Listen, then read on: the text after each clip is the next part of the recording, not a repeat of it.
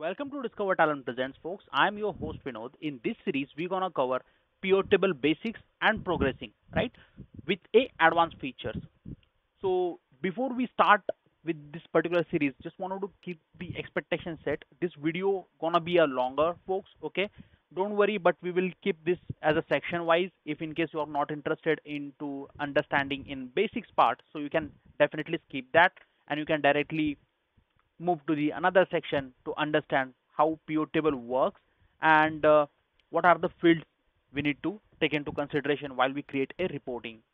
Cool, folks? So let's understand in terms of basic and layman term, what is pivot table? Okay, if in case you know what is pivot table, just comment in below section. In summary, in one word, okay? As per the standard definition, pivot table is a tool in Excel used to summarize analyze, explore, and present a data. Cool. It allows you to quickly calculate and visualize data in a different ways.